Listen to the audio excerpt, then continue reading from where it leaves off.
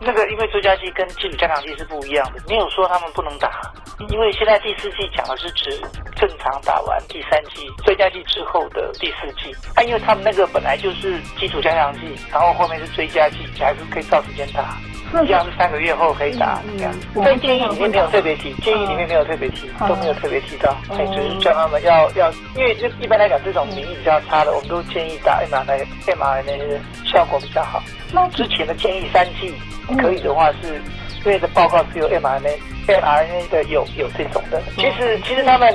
他们那种免疫比较这种人比较差的。